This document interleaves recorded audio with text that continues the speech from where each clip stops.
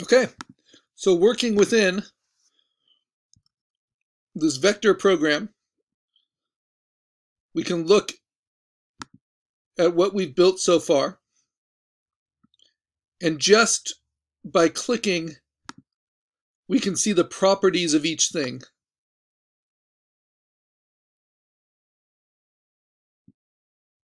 So the properties of, oops, of this fish head that I drew, it has a, a border right now.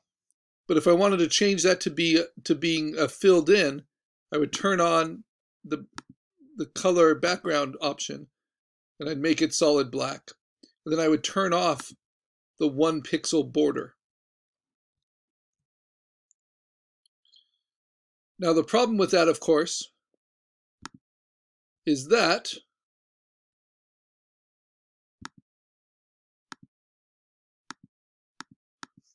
I have to uh, make that X in there.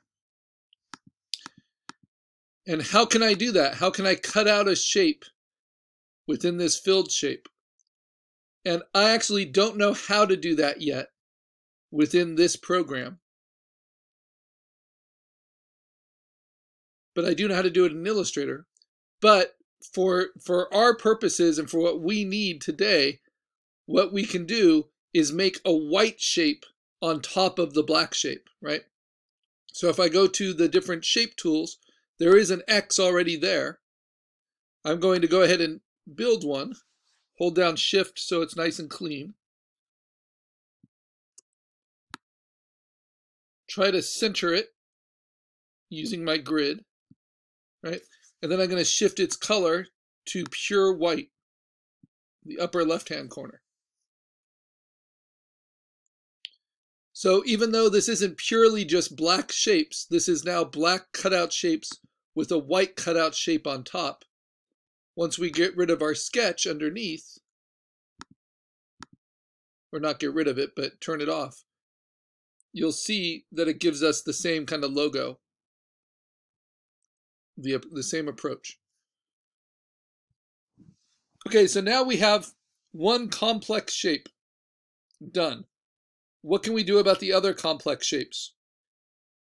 So can we use what we've learned with the pen tool, where we just drew this shape from nothing, to modify these shapes? Can we curve the, uh, the rounded ellipse? And if we double click on it, if we just click on it, we'll see icons, right? And then if we click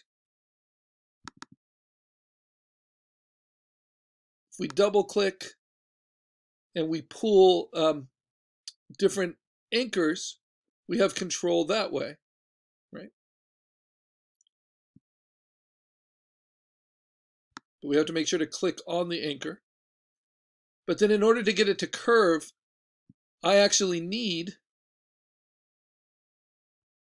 to add an anchor point. And you do that by clicking on the path. I'm going to add an anchor point there and pull it down. Add an anchor point here and pull it down. And this is just a matter of personal preference, but I find it a little bit easier, just like I did with the head, to start with everything being straight and then double click and convert it to curves after the fact. And then modify those curves somewhat, right? So I'm double clicking to turn to curves. And then I can move the whole thing into place. And when the whole thing's in place, then I can scale it and rotate it all together. So maybe like that. So let me see how I like how that looks. I'll turn off the image. Yeah, that looks better than this, right? I think I've lost a little of the perfect symmetry, so I can use the grid double click on it, see all the anchor points, and see what might be a little off.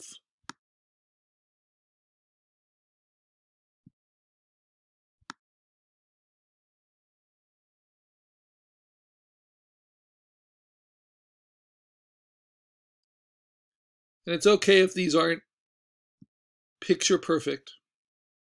We're just learning these new programs for sure. There's also the inner curve that I can round out. That might be nice. Yeah, that's looking cleaner. Then I can stretch it out a little bit on each side. And then center it. Yeah. And then once you like it, then the beauty of digital is I can duplicate it, you know, right click on it, duplicate, move it in place, maybe get rid of this one. I have to unlock these previous paths in order to delete them. And you can right click to delete, but you can also just select it and then hit your delete key. So I center that, but now I, I might also make it smaller. And I can hold down shift and option. That doesn't do exactly what I wanted it to do, but holding down shift does scale it smaller.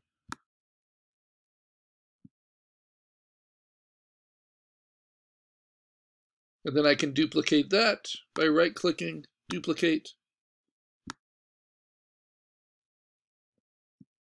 Move it up, make it a little bit smaller.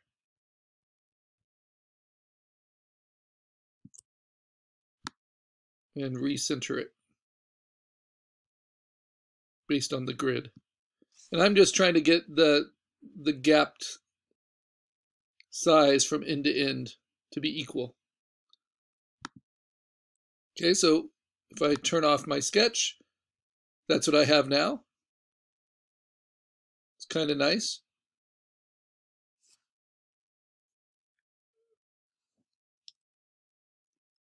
I don't love the the teardrop fins.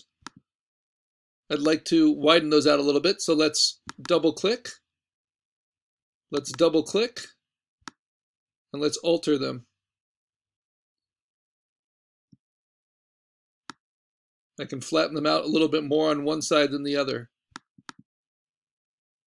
Oops.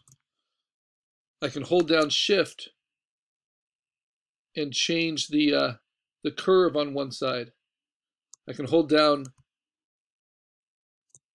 option and change, I guess it's command, let's see. Yeah, and change the angle of the curve on just one side. So just to make it a little bit funkier.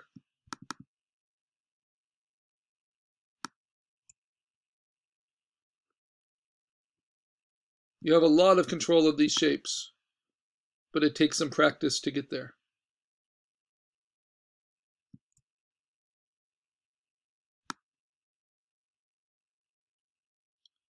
And if I want to curve it in, I can do that. I want to move the point, I can do that.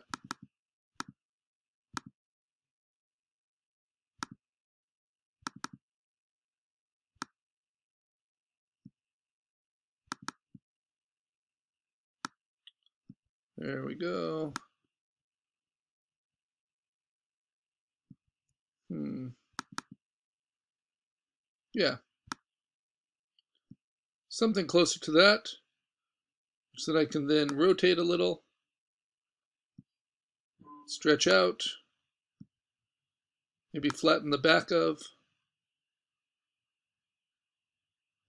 I want it to echo the curve of this rib. Might actually pull this one out just a little bit on each side.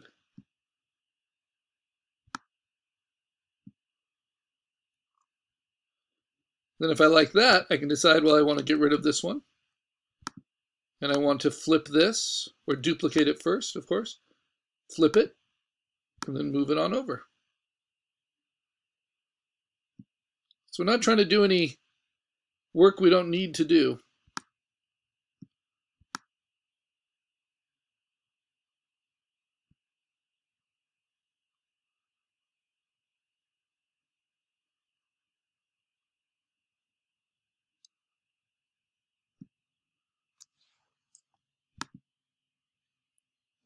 Okay. It's looking better. And then same thing, I want to modify this and probably just draw my own because just by layering those two shapes, I have that little divot that would be tricky to try to get rid of. I could double click and I could try to stretch it so it's even like that. But then in terms of the points, well, this might work. Let's see. Whoops.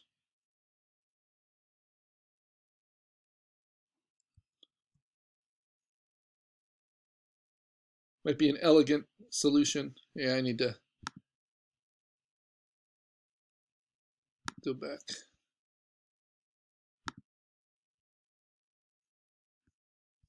Come on.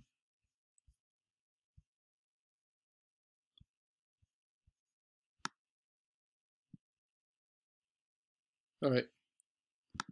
Let's leave this page. I don't need this example open anymore.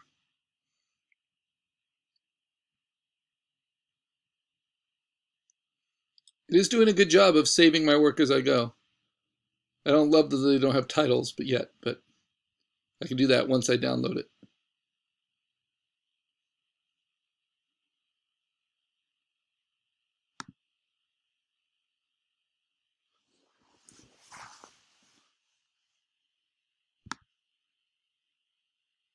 All right, so some of these questions. How do you add anchor points again? And let me show you with this. Vector tries to be as straightforward as possible. So you don't actually need to click on the pen tool to access the pen tool features. Whenever you manipulate an anchor, you're basically using pen, pen tool features. So to add one, you double click on any shape or path and that will show you anchors. And then all you have to do to add one is click on the path wherever you want to add one, and it will be added. And then in this case, even though this was a an ellipse, I'm modifying the ellipse. I'm just going to double click on this path to change it from a curve back to straights. And it's actually just like Illustrator, made to be used with a mouse or with a trackpad, not with a tablet. It's all about precisely clicking where you want to click. Now I'm going to click on this and then hold down shift and click on the other one. I'm hoping I can select them both. There we go. Because they feel like they're not quite centered. Trying to find that center line. There we go. So now, based on my sketch, this is the vector I've come up with. Let me see if it holds up.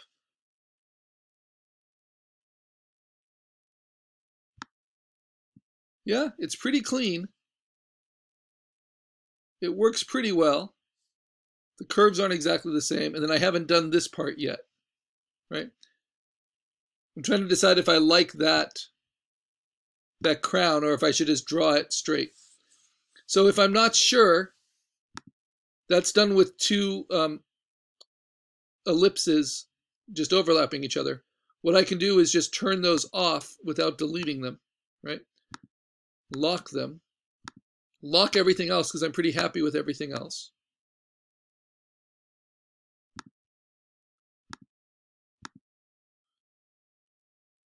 And now I'm going to use the pen tool directly.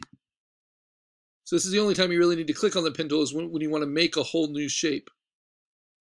And I'm going to use the grid just like I did for the, the fish head a little bit more directly. So I might make the tail a little bit bigger. Find that center point, just like I did with the fish head.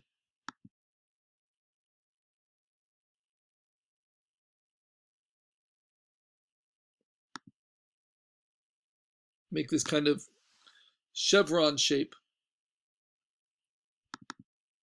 Double click it.